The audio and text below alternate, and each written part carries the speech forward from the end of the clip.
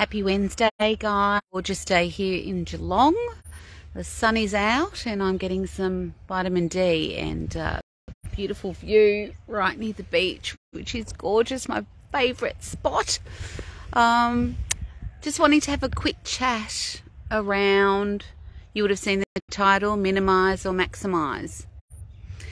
And there's a strategy that we all use in different situations.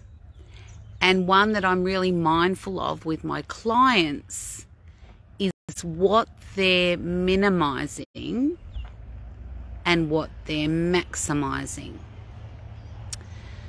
So you could have something that's worrying you or something negative, and you can either minimize it or maximize it. You could have something potentially great, like your vision of where you want to go, the potential of your business or your career or your relationship or your finances. And you can either maximize that vision or you can minimize that vision. And it happens so quickly that I think that a lot of the times we don't even notice when it's happening. I'll give you an example. Years ago, I had this black little mark on the bottom of my foot.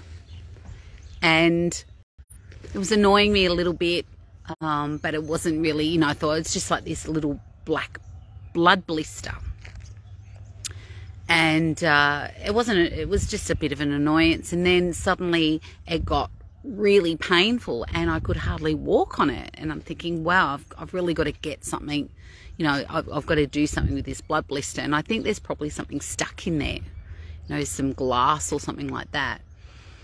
So i remember going to the hospital actually. For some reason I don't know I didn't go to the doctor first. I thought oh, the, the hospital would be the best way to go.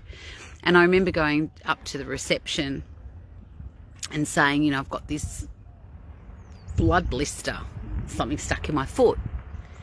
And um, and they looked at it and they said well it may not be a blood blister. And I'm like oh okay and it sort of threw me off a little bit, right? And I'm thinking, but it is a blood blister, isn't it? Anyway, um, the wait was too long, and I ended up going to the doctors across the road.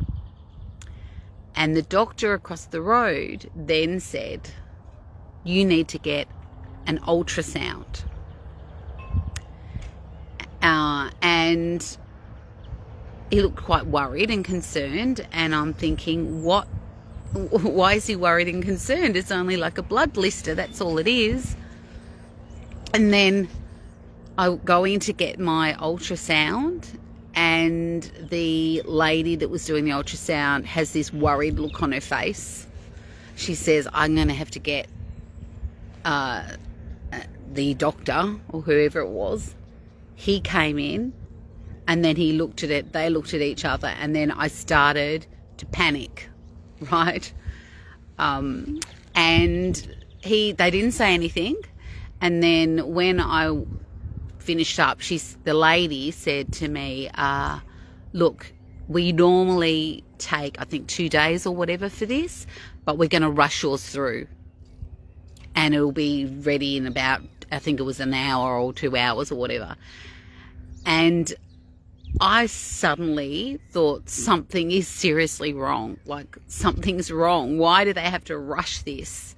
And she said, Look, you know, just wait around or whatever. And um, I just remember being in the car, and I was in the car, and I suddenly was so concerned because I thought, What is this on my foot?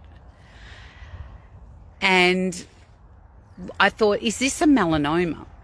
Right? Um, because one of them did mention, look, it could be. and I'm like, is it? And I remember just sitting in the car and how quickly my thoughts escalated. And I'm sitting in the car and I'm thinking, it has to be. It has to be a, a, a melanoma because why are they so worried? And then I sort of looked at all the evidence that I could see, and the evidence was, well, I went to the hospital and they were worried. Then I saw the the lady that did the ultrasound, and she looked worried enough to go and get, you know, the guy. And then the guy came in, and he looked worried.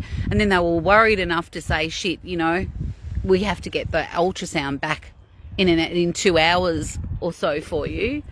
And so in my head, I'm going, well, that's all the evidence. So I've got to be realistic here. And so I started to panic and I started to think, okay, it's it's probably a melanoma. And then I and then I said to myself, okay, so what will they do with that? They could cut that out.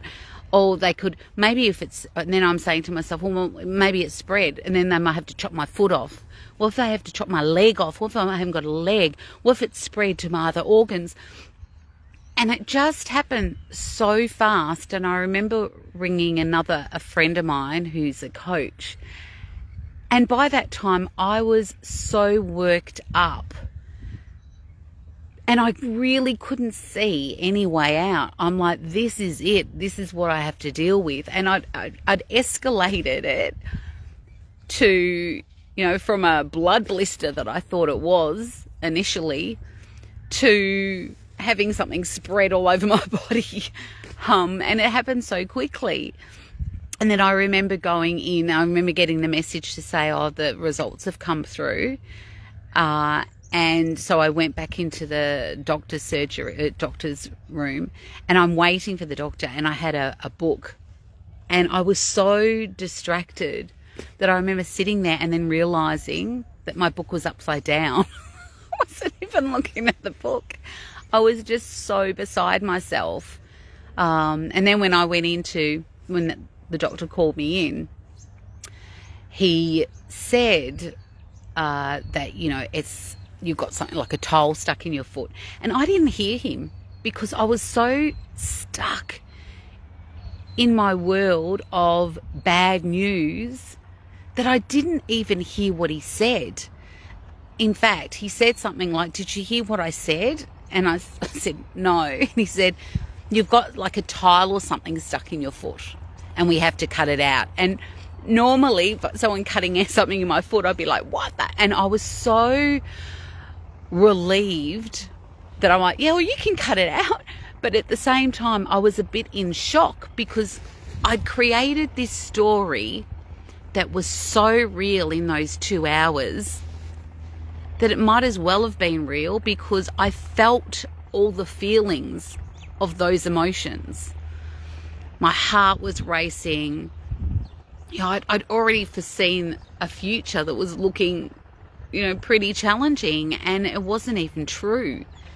And so, this is what we do in life is that we're so good at either minimizing something or maximizing something. Someone that lives in depression or anxiety a lot is so good at maximizing, but what they're maximizing often is the wrong things.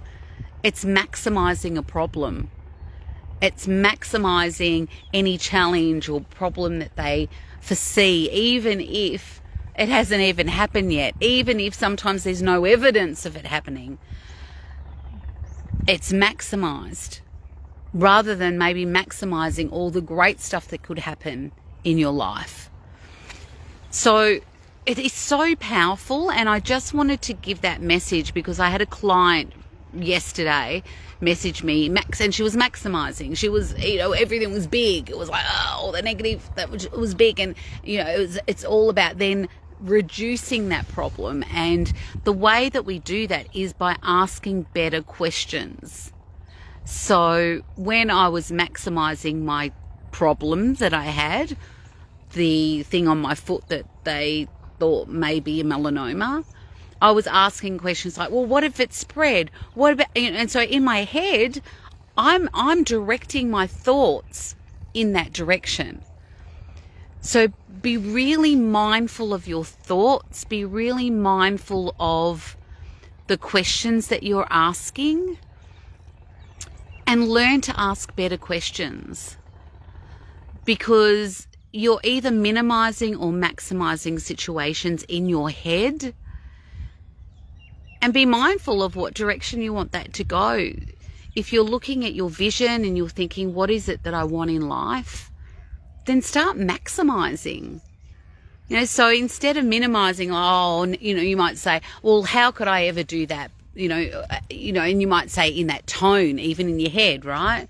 Or, I've never done it before, so why should I? You know, I, I, probably wouldn't succeed. Or you might say statements like that. And catch yourself in those moments because they're the, the things, they're the words and statements that will keep you small and will squash those dreams and aspirations that you've got. So it's really about being able to say, hey, let me play, let me let me say, hey, if it's not me, who else could it be that could create this amazing book? Or, or if you wanted to stand on stage and speak to 2,000 people or create a business or whatever it is that you want to do, be your own best coach and, and, and really maximize those times because we're so freaking good at minimizing those moments. And then if we look at our challenges, the same thing, let's really be mindful of minimizing these challenges. And that doesn't mean that and I'm what I'm not I'm not saying that we're pretending things aren't there. But what I'm saying is that we ask better questions so that we can empower ourselves in those moments. So there might be challenging situations, but you can either say stuff like which will maximize the problem by saying, oh, why me? And you'll answer a question. A question. So if something really challenging is happening, go, why me? What have I done wrong? Well, you'll come up with answers. You'll say, oh, well, what have you done wrong? Your head, your unconscious mind will say, well, this is what you've done wrong. This is what you've done wrong. This is what you've done wrong. Rather than maybe some better quality questions you could say is, how can I make this better? What can I learn from this? You know, those type of questions. Um, so really get a toolbox of questions that are going to help you either minimize any challenges or maximize any potentials uh, and your vision and all those types of things.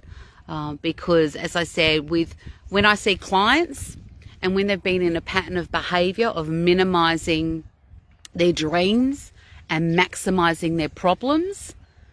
It's this whole strategy that they keep doing and they keep looping and looping and looping. Um, the good news is that you know how to minimize. The good news is that you do know how to maximize. So it's just ensuring that you're minimizing the right things and maximizing the right things. I trust that that, that is valuable and that makes sense for you. I would love to know what your thoughts are. Um, pass this video on to anyone that you think would value from it. It's a simple, simple, simple, simple stuff. And I know you might go, that's common sense, but what you need to do is capture those moments, and no one's immune from it. We are all immune from it. Whether there's coaches watching this, I know we're human. Everyone is not immune from maximizing the wrong things or minimizing the wrong things. So it's just be it's just having mindfulness and having self-awareness. And once we do that, then we can be our own best coaches. So I trust that that's been valuable, guys. Uh, please pop a message or a like or a love heart, whatever you want to do. Uh, and I trust that that's been valuable and go practice it. Um, and those of you that want to write down some empowering questions, uh, empowering statements that you might want to put to yourself in those different moments, do that and have them as your little toolbox to help you in life. Thank you guys. Have an awesome day. I am going to go on the rest of my walk and, and ring my mum. And uh, yeah, you have guys have a great day. See you guys.